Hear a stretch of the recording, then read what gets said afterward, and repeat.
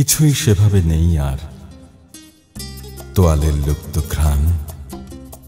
Toothpaste থেকে ভেসে আসে কার যেন আঙুলের শান্ত ক্ষীণ অভিমান। বিছানাটা কি করে রেখেছো? থাক না কি হবে? রাত্রির আধার সেই কবে নিভে গেছে। শুধু দুজনের যৌথ যাপনের শিখাটুকু। থাক চাদরটা বদলালে সেই আলো উবে যাবে।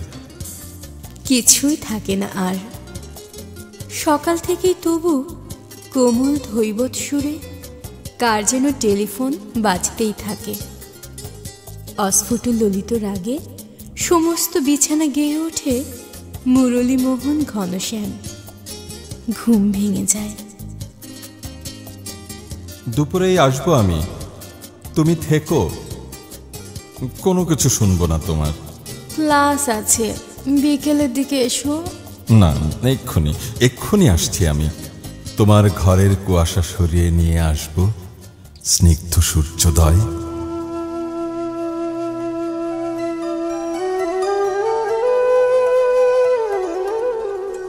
কিছুই থাকে না আর। ছায়াচ্ছন্দ বাংলা একাডেমি সিঁড়ি। আর তার পুকুরের তট জুড়ে বসে থাকা তোমার শরীর ঘিরে বিকেলের আলোটুকু কাঁপে। প্রোফাইল পিকে তোমাকে অপূর্ব লাগে। ক্যামেরার লেন্সের ভেতর দিয়ে আমি দেখি পশ্চিম দিগন্তে সূর্য ডুবে যায়। ফ্রিদা কাহলু নিয়ে কিছুটা লিখেছি। বই হবে? হতে পারে। আসো যৌথভাবে লিখি। আইডিয়াটা মন্দ নয়। আমার ভেতরে ফ্রিদা বুঝি ভর করছে। কয়েকটা ইবুক পাঠালাম। দেখো ফ্রিদার জীবনী।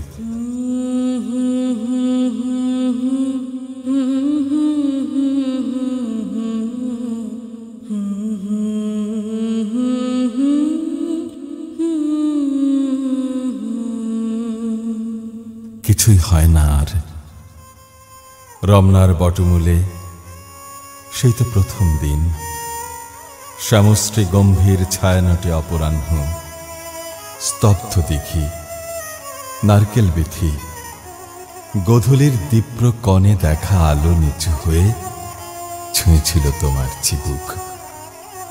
হাতের মুঠিতে ধরা আঙুলগুলো প্রজাপতি। বেঙ্গল মিউজিক ফেস্টে তুমি কি পৌঁছেছ? আমি গাড়িতে উঠেছি। পৌঁছে যাব। আমার আসন যেন থাকে। থাকবে। আসো।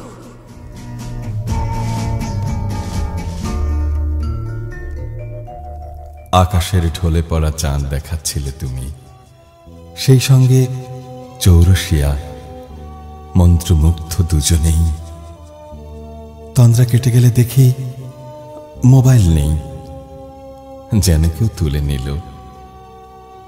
তোমাকে কি যেন বলি, পরক্ষণে নিজেই আবার কুঁকড়ে যাই।